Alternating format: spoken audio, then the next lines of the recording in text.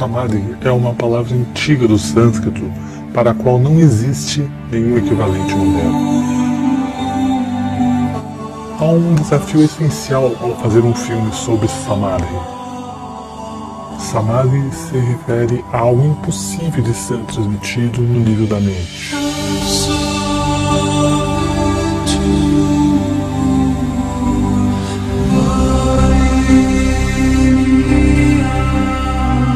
Este filme é simplesmente a manifestação exterior da minha jornada interior.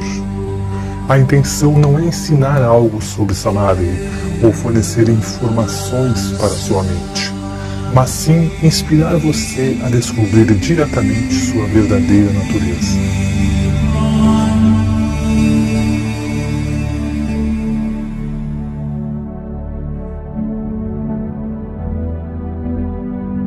Samadhi é mais relevante hoje do que em qualquer outra época da história. Vivemos um momento em que não somente esquecemos o que é Samadhi, mas esquecemos que nós esquecemos.